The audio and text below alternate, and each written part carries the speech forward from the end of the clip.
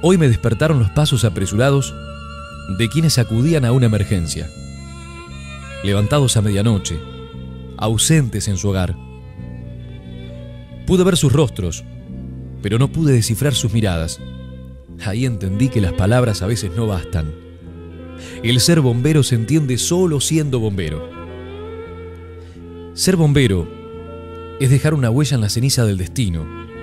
Es conocer el valor de la vida. Es tener el coraje de abrirse paso entre el peligro y la muerte. Ser bombero es más que eso.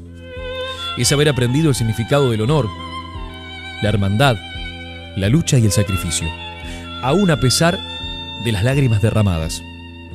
Porque no siempre se puede, porque existen momentos donde la vida se esfuma y el alma se llena de impotencia. Momentos donde se llevan los brazos a pequeños cuerpos que no sonreirán jamás.